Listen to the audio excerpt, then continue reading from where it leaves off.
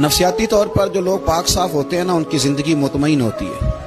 बहुत ज़्यादा माल, दौलत, वजाहत, शोहरत के बावजूद जो लोग नफसियाती तौर पर किसी मैल कुचैल का शिकार होते हैं, जहनी तौर पर, वो सारी सलाहियतों के बावजूद भी कमज़ोर, बेचैन और बेसुकून रह जाते हैं। ज़िंदगी में गुमान, सोच, अपनी नफ्सियात को हमेशा अच्छा रखें।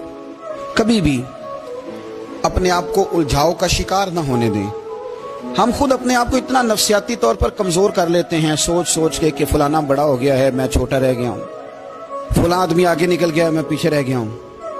ये चीज़ इंसान को कमज़ोर करती है।